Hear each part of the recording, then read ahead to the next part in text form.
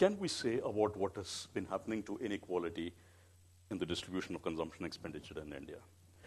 There is a certain received story, and uh, I'll, I'll, present you with uh, a, a, summary version of this received story in the words of uh, an economist called Bhalla. So the use of the word sic is very much in order here. I'm, I'm simply quoting him. He says, Far from India having a problem with non inclusive growth a la China, it is likely the case that the Indian model of growth has delivered relatively much more to the poor, ceteris paribus, than China.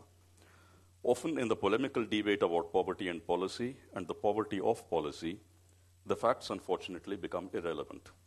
What is revealing is that to date, there has been little variation in real inequality in India. While comparative data needs, need to be explored, it is likely the case that this near constancy is unusual given the buzz of the conventional wisdom that inequality increases with growth and or that Indian inequality has sharply worsened. Now, uh, this is much of a piece with what uh, people like Ahluwalia, Jagdish Bhagwati, T.N. Srinivasan have said, although their statements are, on the whole, and not surprisingly, somewhat more guarded than, uh, than, than, than, than Bhalla's. But, but the general thrust of uh, uh, the uh, evaluation of inequality in India is that, that uh, it's nothing to be alarmed about. And where poverty is concerned, money metric poverty is concerned, the general consensus is that there have been dramatic declines in money metric poverty. Now, I think both of these uh, judgments are very strongly suspect. The uh, issue relating to poverty is obviously not a part of this talk, so I will not deal with it. But what can we say about the source of these sorts of judgments which have been made about inequality in India? What I will do is to concentrate on two issues, of which the second is the one that I'll spend a larger amount of time on, which might explain why we get the sorts of results that we do. First is the use of the database. You see, as I told you, we have six points of time separated one from the other by five years because the National Sample Survey thick data, as they are called, are produced quinquennially, once every five years. Now, the data for the year 2000 and 1999 2000, rather, by now there is a fair consensus on, on the view that these data are virtually unusable. And this has had to do with the fact that the recall periods for the survey in 1999-2000 were drastically changed from the recall periods that were employed earlier, which were usually 30-day recall periods.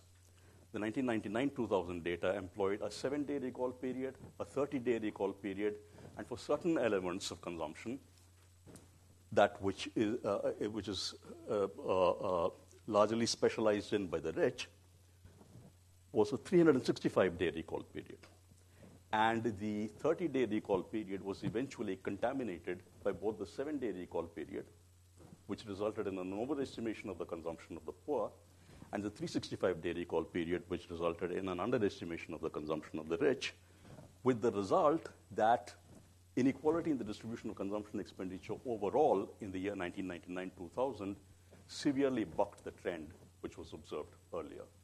So, if you're going to employ the 1999 2000 data as part of a six point uh, uh, uh, data set, then that's going to unduly influence your results.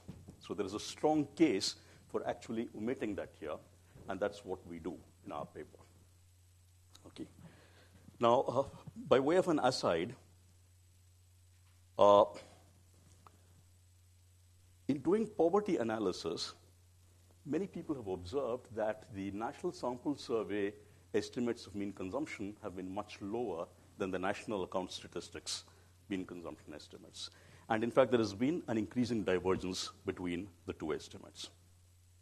Now, many people engaged in poverty analysis, as it happens, Bhalla is one of them, have strongly argued in favor of employing the national account statistics uh, source as the appropriate data source that has a higher mean.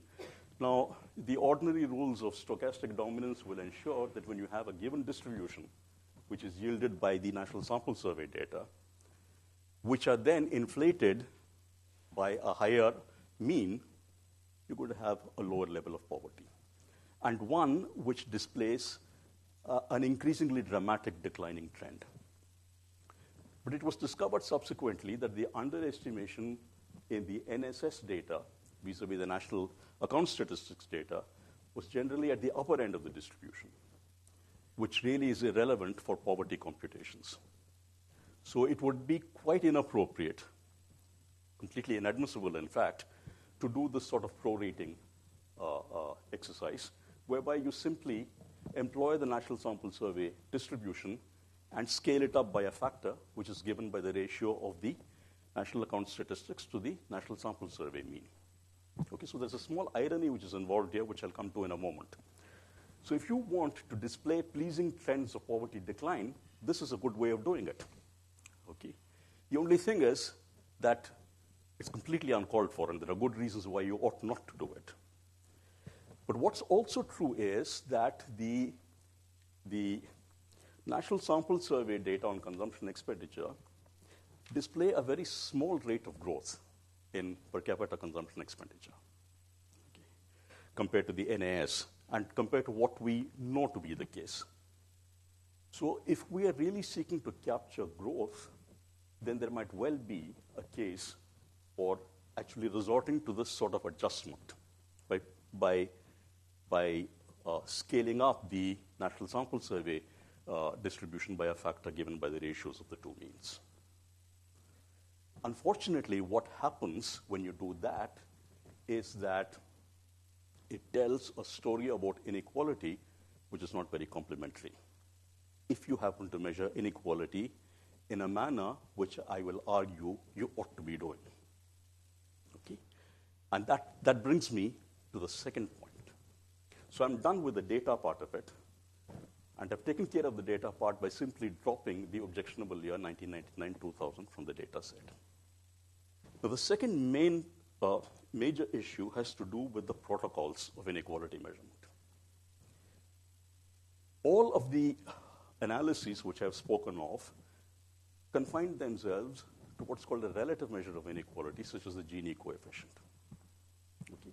Now, a relative measure of inequality is simply a measure which satisfies what is called the scale invariance property, which simply requires that if all incomes in a given income distribution are scaled up or down by a given factor, then inequality ought not to be, to be seen to have changed. Okay? So that's what scale invariance is about. Now consider a simple two person distribution, which is ordered.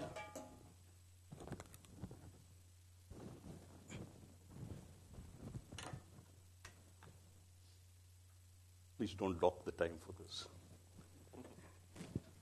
Yeah, here we go. Supposing you have a distribution 1 100, which goes up to 2 105.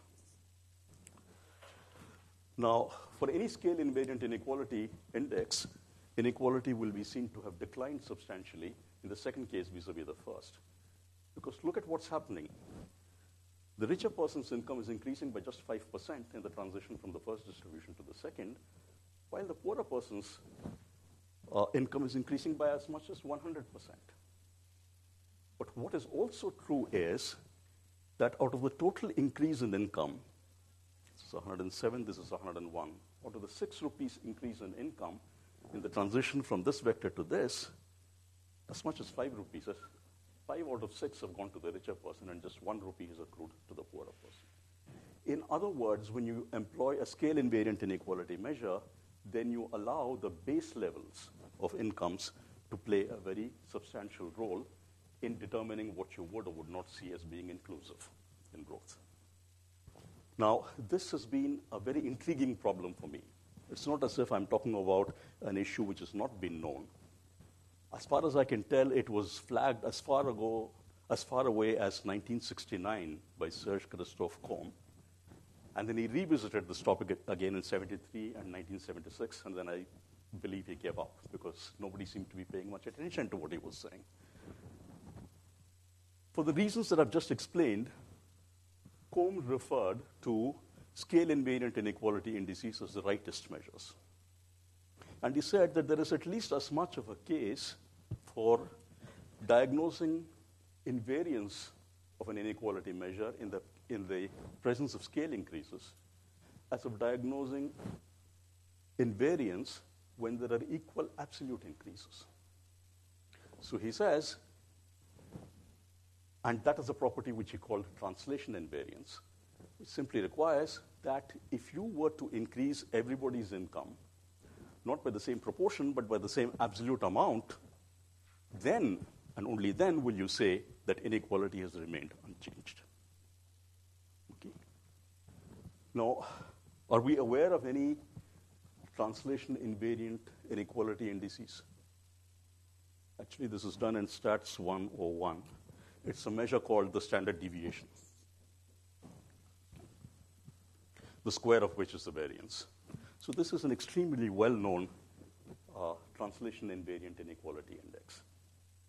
Okay, remember that given any vector x, if you were to multiply each person's income by lambda, then the, the standard deviation of the variance of this, sorry, is equal to lambda squared times the variance of x. So, in other words, dispersion is not preserved by the standard deviation. Does change. Now, a very well known index of relative inequality is what's called the coefficient of variation, which is just the standard deviation deflated by the mean. So, like any nice relative index of inequality, the coefficient of variation is mean independent, and you ensure that by simply deflating the standard deviation by the mean. Okay. Now, if in the presence of income growth, there is a problem of scale invariant indices being rightist and of translation invariant inequality indices being leftist in the terminology of, of Kolm, then is there not a case for measuring inequality in a manner which avoids the extreme values underlying both kinds of inequality indices, the scale invariant and the translation invariant inequality indices, which are also called relative and absolute indices. Is there a case for that? And the answer would seem to be obviously yes. And the class of inequality indices which fall between these two extremes is what Kolm called intermediate or centrist inequality measures, which satisfy this property. Namely, that if everybody's income were to increase by the same proportion, yeah, then you would count that as an increase in inequality. And if everybody's income were to increase by the same absolute amount, then you would count that as a decline in inequality. But to state it in the form of, a, of an invariance condition, this is what was done by an economist, by, well, he's not an economist, he's a mathematician. It's always difficult to deal with a word which doesn't have any vowels in it. So I don't know how to pronounce this, but let's say Krtscha for the moment. Uh, I might well be wrong, but I'll, I'll call him Krtscha. The method which he proposed was supposing you have a given increase in the mean income of, of, uh, of a society, take the first incremental rupee and one half of it you allocate in the proportions of the existing distribution, and the other half you just allocate equally among all the people in the society. So you will get a new distribution from your initial distribution x to x1. And his requirement was that since you're giving equal weight to both relative and to absolute increases, you should declare x1 to be indifferent to x inequality wise. Okay. And then start using x1 as your new uh, base point. You go on to another vector x2, which consists of taking the second incremental rupee and dividing one half of that in the proportions as they exist in x1 and one half equally, and so on down the line until you have exhausted the change in the mean income. And you come to some income y hat, which will obviously have the same mean as the terminal distribution y, which you were given at the outset. Okay. Now, if y coincides with y hat, then you have an invariance condition which says, from a centrist point of view, that inequality in x is the same as inequality in y hat, in y. Okay, so that, that is the Krtscha measure. He used a, sort, a set of basic, rather elementary axioms, together with this requirement of invariance, to characterize a class of inequality indices, okay, which were basically positive monotone transformations of, of a certain index, which I'll just call K, which turned out, as it happens, to be simply the product of the standard deviation and the. Just the product of a relative measure and an absolute measure. So if I have still got a couple of minutes, I'll wind up. Uh, Two minutes. uh, so this, uh, I, I learned subsequently that apparently this is a very commonly employed descriptive measure of statistics. It's called the coefficient of difference, I believe. Okay, it's simply the variance divided by the mean. And uh, uh, this was pointed out to me by somebody else who had read an earlier version of my paper and, uh, uh, and has applied it to a problem in demography. And it's of particular salience in the context of the Poisson distribution because the value of this measure for the Poisson distribution is unity. It's one. It's, it's, uh, it's, it's uh, just a funny thing. But anyway, the uh, long and the short of what I said is that if you get rid of the year 1999 2000, and if you employ a, a centrist, not even necessarily an absolute measure of inequality, if you simply employ a centrist measure of inequality like the Krtscha, then you get what you expect. The coefficient of variation does not display any trend line. Okay? The standard deviation displays an increasing trend, but you don't have to go as far as that. You can be reasonable and moderate in the value judgments which you make when you're measuring inequality. And even if you use the Krtscha index, you find that for India, the, the trend in inequality is a pronouncedly increasing one. And uh, uh, you get similar results when you resort to adjustment of the, uh, of the distribution to take account of the discrepancy between the national sample survey and the national account statistics. So by making certain, I think, absolutely essential adjustments to both the data and to the protocols of measurement, you would find that you end up corroborating the point of view which most people share through a process of casual observation and contrary to what the experts would have us believe. And uh, for me to end on a slight note of advocacy, it's still not clear to me why we keep on using relative measures of inequality unless it be that we are committed to the notion that the value of an inequality measure should not change with the units in which you measure uh, income. Okay. And it was uh, more recently in 2007, an economist called Zheng showed that this is an un- unnecessarily demanding cardinal property of invariance, and that you ought to be content with a much weaker ordinal property, which demands not that the value of the inequality index should be invariant with respect to the units in which you measure the inequ- uh, uh, income, but there is the ranking of inequality distributions which ought to be invariant with respect to the units. So if x is greater than y, uh, and if, uh, yeah, 20 seconds, okay, and x prime and y prime are derived by scale transformations of x and y respectively, and if x is greater than y, inequality in x is greater than y, all you require is that inequality in x prime should be greater than inequality in y prime, not that the values should be the same. And you, and the Krtscha index, apart from a few other indices, satisfy this property. This is also subgroup decomposable. So there is a good case for employing something like the Krtscha index. And, and, and I say this uh, with, with, with, with some measure of uh, uh, vigor because we're plainly doing the wrong thing.